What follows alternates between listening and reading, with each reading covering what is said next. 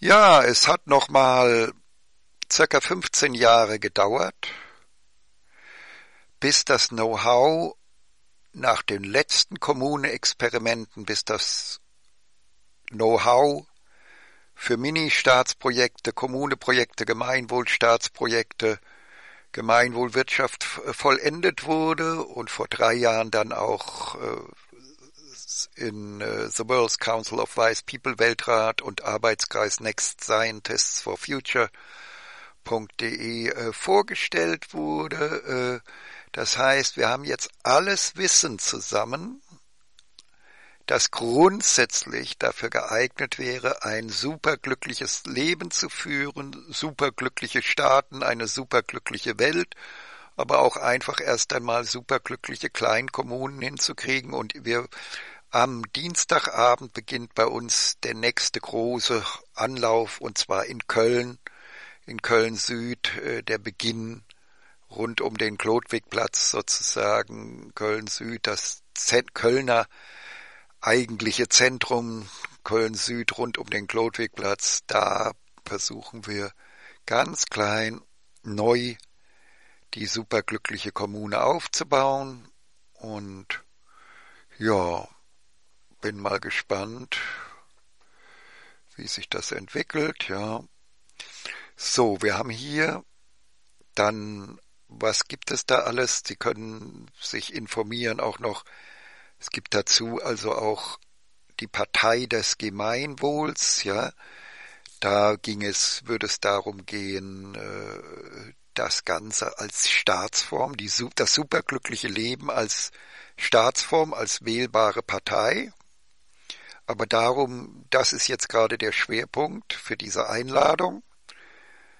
Die superglückliche Kommune in Deutschland mit wissenschaftlicher Supervision, Gemeinwohlkommune das ist auch äh, ein, ein, ein Bild, eines der Bilder von mir. Das ist ein anderer, der zweite Supervisor vom Supervisionsteam, der medienbekannte Diplom-Theologe Jürgen Wagner oder ÖFÖF, bekannt von Maisch, Menschen bei Maischberger, Stefan Raab, NDR, SWR und so weiter und so fort.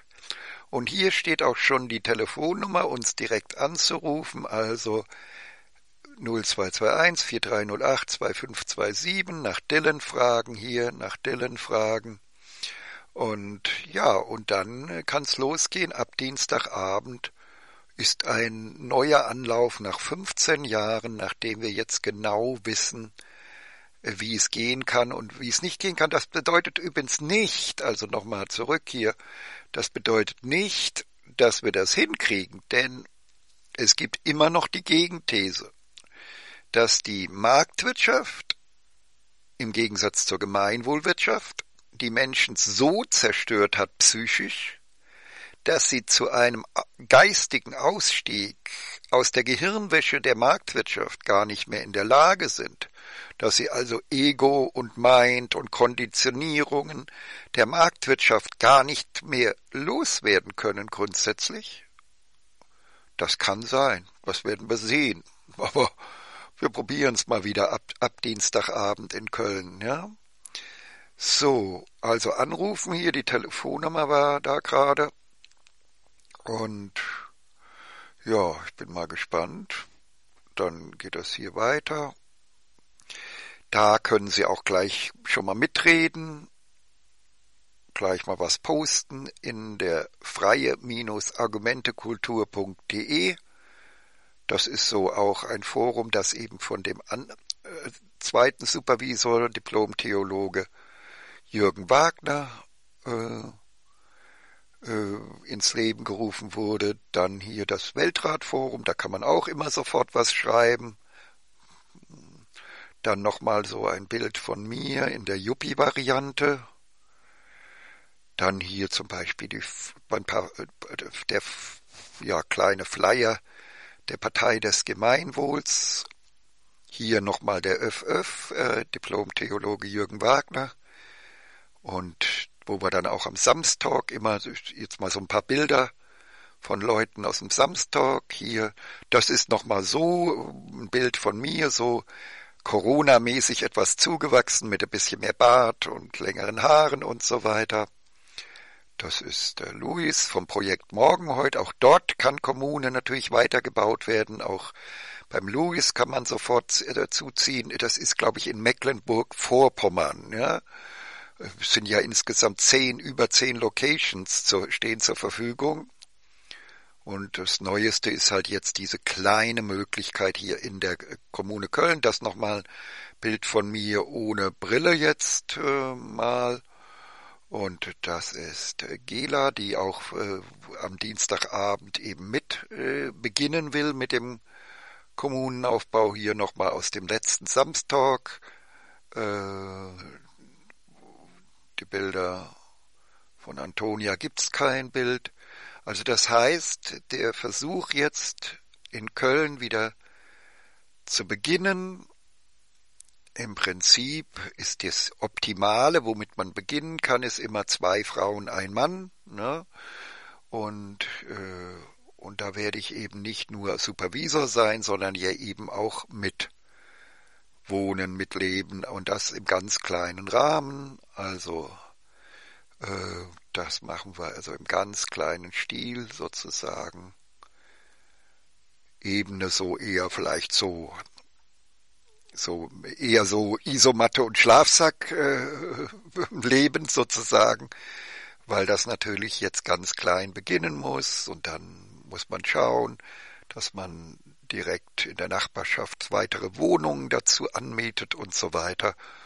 Aber erstmal das Wichtigste ist überhaupt, ob die Menschen gut miteinander ins Gespräch kommen, denn ohne freie Argumentekultur ist alles nichts. Ne? Also anrufen, und dann zeige ich jetzt noch mal kurz hier.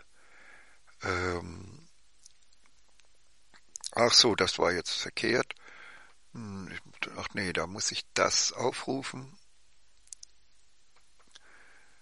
So, da ist nochmal die Homepage von Weltrat, Next, hier so, da kann man es eintippen, nexts4f.de und dann kann man das hier alles äh, lesen, dass man sieht. Also alles Know-how ist vorhanden, aber schaffen das die Menschen? Sind die Menschen in der Lage, sich zu entmanipulieren, zu dekonditionieren von der Gehirnwäsche der Marktwirtschaft? Oder geht das einfach nicht? Das kann ich Ihnen nicht sagen. Das keine Ahnung. Das probieren wir jetzt halt mal wieder nach 15 Jahren, jetzt wo wir das Know-how komplett haben. Vorher waren die Kommunenexperimente gute Zwischenergebnisse, in denen auch schon sehr viel glückliches Leben stattfand, aber Fertig geworden ist das alles eben erst in den letzten Jahren und jetzt kommt erst wieder der neue Gang. Ja, und dann haben wir hier, was haben wir hier noch? Äh, da drüben kann ich Ihnen noch zeigen. Die Partei des Gemeinwohls, PDG, die kompetente Punkt Beepworld. Da können Sie auch äh, sofort äh, äh, ganz viel lesen über das Grunddenken, also das, was wir heute wissen über die wie die Marktwirtschaft uns unser aller Leben ruiniert hat und zerstört hat und wie die Lösung aussieht, wie die politische Lösung aussieht, das würde in der Kommune erst einmal nicht eine Rolle spielen, es sei denn, sobald jemand aus der Kommune anfängt, Dinge nach außen zu verkaufen, dann muss sofort auf Gemeinwohlwirtschaft umgestellt werden, weil man sonst in die gleiche Hölle wieder gerät, in die Hölle der Marktwirtschaft wieder zurückfällt, sozusagen. Also ist das ungeheuer wichtig. Und jetzt gucke ich nochmal hier so, hier steht zum Beispiel die, da wo Sie auch am Samstag dann gleich mitmachen können, die nächsten Partei-Talkshow-Termine 20.15 Uhr. Äh, aber hier, ich meine jeden Samstag, also hier, up, das hüpft so sehr, jeden Samstag 20.15 Uhr unser Samstag, also das ist von all diesem Imperium insgesamt sozusagen und äh, ja, und da können Sie hier sich mit einer E-Mail oder Sie können direkt anrufen und kurz plaudern und dann kriegen Sie die letzten fehlenden Buchstaben für diesen Link, die, für die Online-Teilnehmer und dann kriegen Sie äh, die letzten drei fehlenden Nummern, wenn Sie telefonisch dabei sein wollen. Wäre auch nett, wenn Sie vielleicht ein Bild von sich schicken würden. Hier ist die, hier die drei, letzten drei Ziffern. Die kriegen, würden Sie dann auch telefonisch kriegen. Oder Sie schicken eben die Mail äh, und äh, kriegen dann einen Rückruf mit Ihrer Telefonnummer und kriegen einen kurzen Rückruf und dann können wir mal kurz plaudern und dann sind sie schon dabei. Und weitere Inspiration, das Ganze ist ja ein riesig dickes Imperium. Ich zeige nur noch mal, was es da so alles gibt. Es gibt dann so alte Homepages. Ja, gucken wir doch mal hier, was ist das hier? Ja, genau. Äh, Nochmal so eine alte Variante der Homepage, hier die Rat-derweisen.beepworld. Äh, dann haben wir auch nochmal eine Art Ach so, das ist jetzt nochmal, äh, was war das jetzt? Und das ist jetzt Weltrat der Weisen. Das ist auch nochmal quasi eine Kopie dieser alten, alten Homepages. Und da können Sie sich nochmal reinlesen. Also Weltrat der Weisen.beepworld.de. Äh, dann haben Sie hier äh, rat-der-weisen.beepworld.de und äh, ja, und dann können Sie eben auch hier drüben dann, was ist das jetzt noch? Ach so, das war das andere. Und äh, dann können Sie, es gibt also unendlich viel zum Studieren. Das Ganze ist wie eine Mini-Universität. Idee des Mini-Gemeinwohlstaates und der Mini-Universität und so weiter.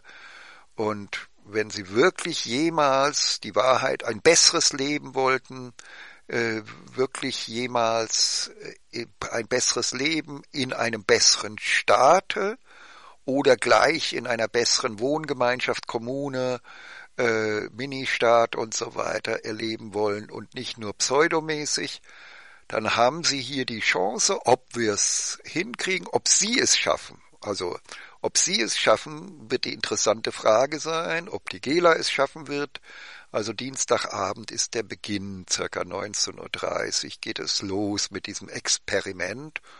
Und eine nette Frau, nettes weibliches Wesen könnte eben gleich mit dabei sein, denn es ist sowieso immer so, Idealerweise sollten sich Kommunen immer so entwickeln, zwei Frauen, ein Mann, damit immer das leicht matriarchale immer auch äh, gewährleistet ist und dann zwei Frauen, ein Mann, dann zwei Frauen, zwei Männer, dann wieder drei Frauen, zwei Männer und so weiter. Das ist zumindestens, äh, es ist alles möglich äh, und nichts ist festgelegt da, außer dass wir einfach äh, das Know-how anwenden, wie Menschen so glücklich wie möglich miteinander leben können bei, bei den gegebenen Realitäten, die wir nun mal jetzt haben. Und ja, und ich zeige nochmal, also da können Sie sich Inspirationen holen. Das wird immer so geschrieben. Zum Beispiel die, das hier ist ein Wort, das heil.beepworld.de. Das ist also, das sind so kostenlose Homepages. Also gucken wir gerade nochmal hier. Äh, das Forum, das hatte ich Ihnen aber alles schon gezeigt. Äh, das ist das, was auch noch eine Inspiration sein kann. Ah ja, so, so können wir das nochmal gerade aufschlagen hier. Sehen Sie, äh, jetzt muss ich da wieder zurückgehen. Machen wir das so. Sie sehen es ja hier, Gemeinwohlwirtschaftspartei, die erste der Erde, die kompetente Beepworld, so wird es geschrieben, beepworld.de. Das können Sie als Zusatz also an das Heil äh, dranhängen oder an Weltrat der Weisen.beepworld.de oder Rat-der-Weisen.de und so weiter. So finden Sie ein ganzes Imperium zum Thema viel, viel, ja, viel, viel glücklicheres Leben und wie gesagt, also noch einmal das zur Information. Äh, bei uns läuft alles kostenlos ab, selbstverständlich. Immer Geld spielt keine Rolle. Wir dürfen auch von außen keinen einzigen Cent annehmen. Wenn jemand die Sache unterstützen will, muss er eine eigene Werbekampagne finanzieren, um das Ganze bekannt zu machen. Aber wir dürfen gar nichts annehmen, denn äh, schon auch nur ein Euro irgendwo einzunehmen, korrumpiert die Psyche. Ja? Und äh, das heißt, wenn ich einen Euro in marktwirtschaftlichen Rahmen einnehme, fängt schon der psychische Zerfall an, während wenn ich im gemeinwohlwirtschaftlichen Rahmen, da kann ich Millionen Euro annehmen und es kommt zu keiner Vergiftung der Psyche, weil sozusagen die Gemeinwohlwirtschaft erlaubt immer nur Geldeinnahmen, wenn ich anderen Menschen Gutes tue. Dafür darf ich aber keine Irrtümer entwickeln, sondern muss sie der Gewahrheit entsprechend ihnen Gutes tun. Und das ist der Unterschied zwischen der Marktwirtschaft und der Gemeinwohlwirtschaft. In der Marktwirtschaft geht es immer darum, vorteilbringende Irrtümer zu entwickeln, mit denen man im Rahmen der Marktwirtschaft im Wettbewerb überleben kann und die anderen bestmöglich abzocken kann mit krankmachender Billignahrung, mit Zucker und Palmöl und an allen möglichen anderen giftigen Substanzen, die aber mark äh, wettbewerbsfähig sind, weil die Preise niedrig sind und so weiter in der Herstellung.